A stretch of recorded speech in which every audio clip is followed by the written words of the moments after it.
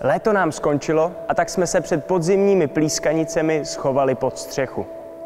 Do generálního štábu českého výzkumu, do hlavního sídla Akademie věd. Začíná říjnová česká věda.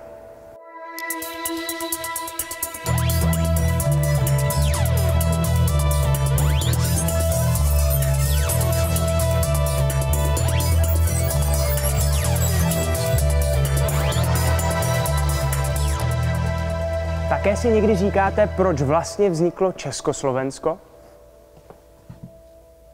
A ne zkrátka dva státy, Česko a Slovensko? Z následující reportáže jsem se dozvěděl, že někdy je lepší být Československo, než nemít žádný stát.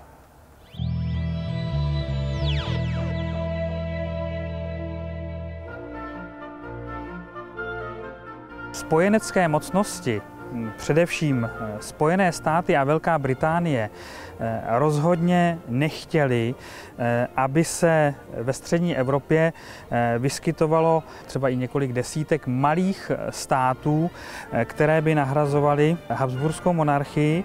A proto Tomáš Garik Masaryk při vyjednávání kladl důraz na to, že eh, Československo bude spíše větším státem. Dá se říct, že Masaryk eh, v danou chvíli neměl jinou možnost, než prosazovat myšlenku československé státnosti a současně myšlenku československého národa. Takže z tohoto hlediska eh, bylo také eh, důležité získat do toho nového státního eh, celku Slovensko. Už během jednání se slovenskými krajany ve Spojených státech, které vyústily v Pittsburghskou dohodu v roce 1918, samozřejmě zaznívaly hlasy, aby Slovensko šlo nějakým způsobem samostatnější cestou. Ale tyhle ty hlasy byly přehlušeny tím, řekl bych, dominujícím hlasem bylo to, aby tedy Československo v podstatě do sebe Slovensko integrovalo. Toto bylo velice obtížné, protože tady se dávaly dohromady eh, dva eh, etnické celky, které nebyly úplně kompatibilní. Byly sice blízké jazykově, ale každý z nich měl odlišnou kulturní eh, zkušenost, zároveň měli také jinou religiózní zkušenost. Dá se říct, že se tady vytvářely účelově jednak tedy státní celky, Československo, jednak i tedy eh, národní celky, tedy československý eh, národ a všechno bylo podřízeno tomu, aby skutečně pak po první světové válce mohl československý stát vůbec vzniknout po roce 1918 ten souzvuk, eh, řekl bych, že netrval úplně dlouho. Velice výrazně vzrostl i ten proud, eh, který byl eh, silně nacionální a který nakonec od 20. let začal uvažovat také o provedení autonomie, protože první návrh na zákon o slovenské autonomii byl předložen do parlamentu už v roce 1922. Tak se nedá říct, že se dařilo oba dva národy více propojovat, více tedy integrovat tu myšlenku Čechoslovakie. A pojďme hned na další reportáž. No, ono se řekne pojďme, ale jak to vlastně děláme? Ukazuje se, že chůze vůbec není tak jednoduchá, jak by se mohlo zdát. Čeká nás pokračování minisérie Co s námi bude.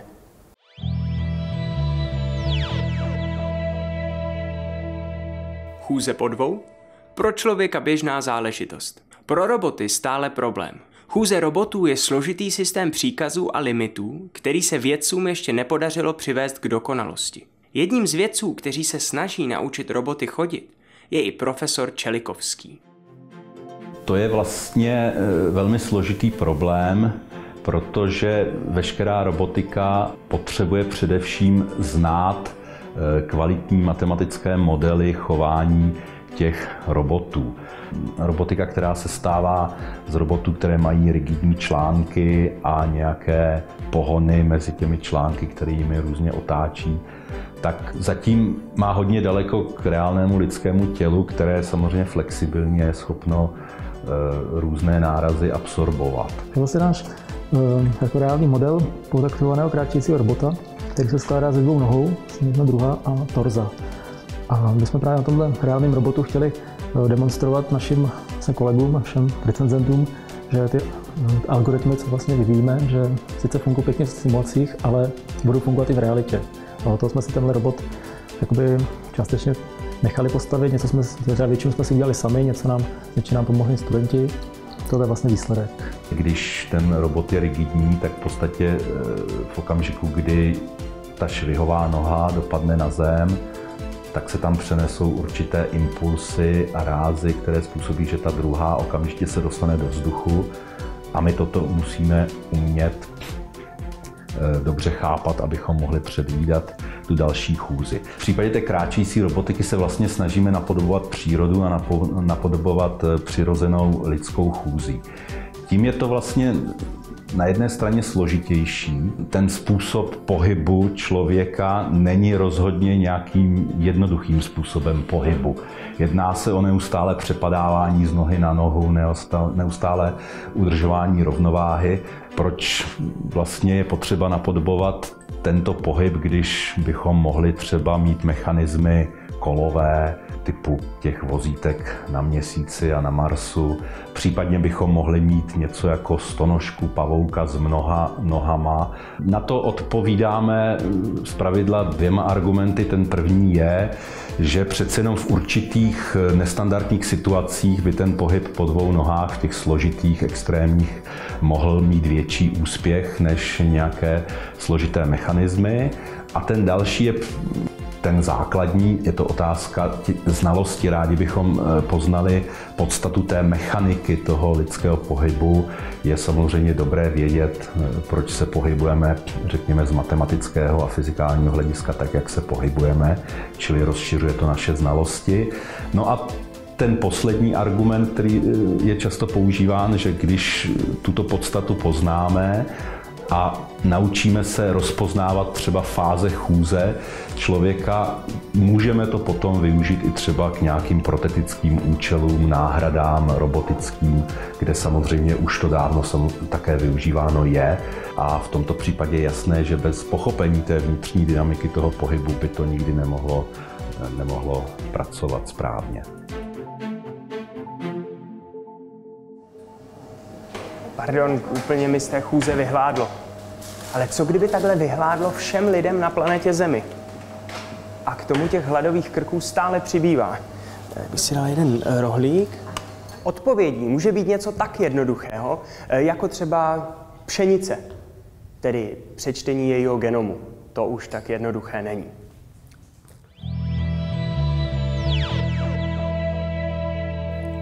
V roce 2050 nás bude na světě přes 9,5 miliardy. Dnes by nás pšenice neuživila. Hrozí tedy hlad? Pšenice patří k nejdůležitějším plodinám na světě, je pěstovaná na největší ploše obdělávané půdy a lidstvu poskytuje 20% kalorií a 20% bílkovin, čili hraje zásadní roli při výživě lidstva. Do roku 2050 potřebujeme zvýšit produkci pšenice o 60 Dostatek potravin zajistí jen nově vyšlechtěné odrůdy. Proces šlechtění však dosud trvá neúměrně dlouho. Do roku 2050 to nestihneme.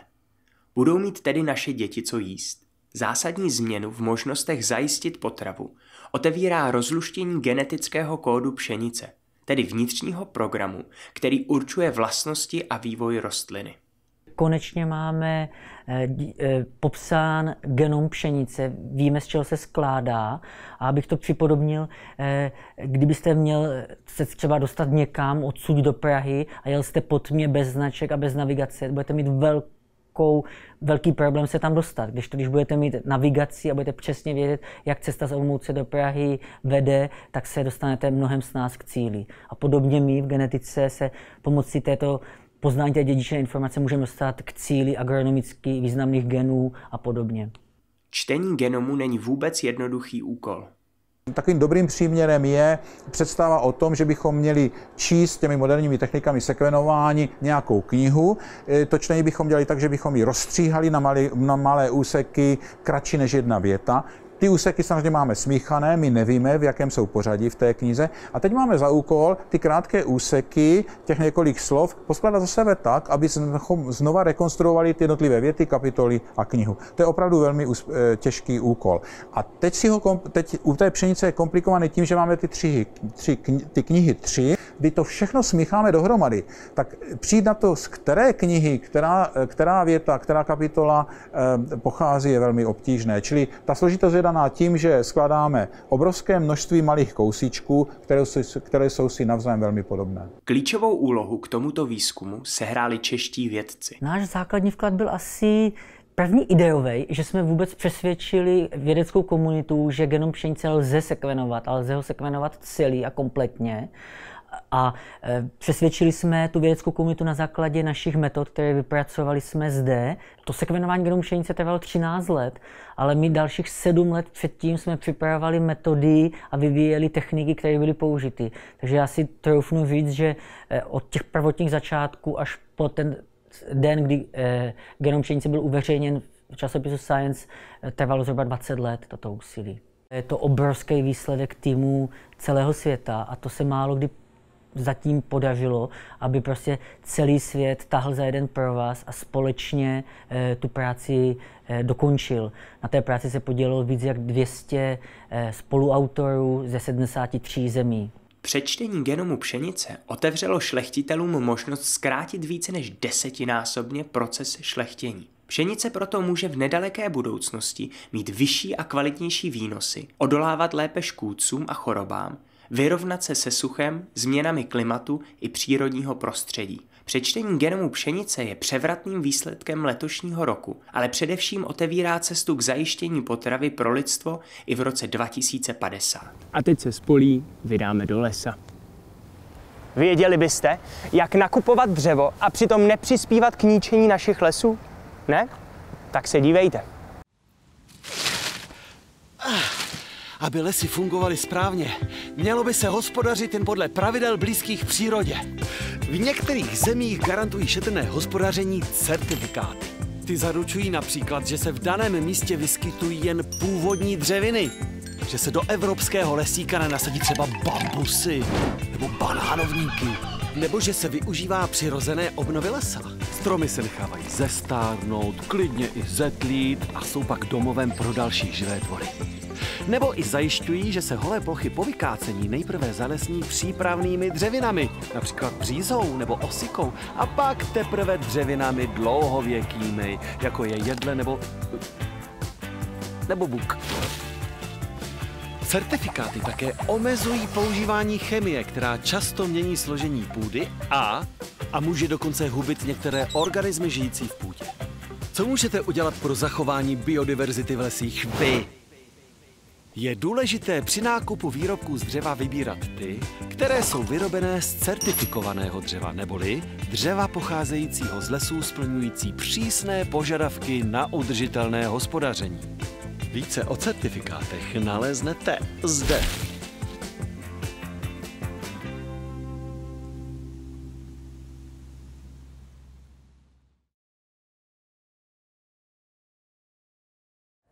A na závěr hned dvě pozvání na dvě události, na kterých nesmíte chybět. A příště se nezapomeňte zase dívat na českou vědu. Doufám, že i v naší zemi dosáhne automobil takového veřejného užívání jako v Americe. Děkuji vám za rozhovor.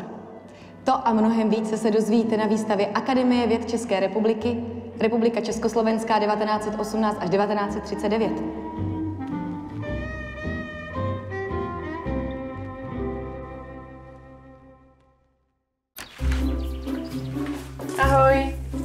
pořádku? Jo, jen ve dveřích je taková menší parciální negace totální kontinuity materiálu. Mhm.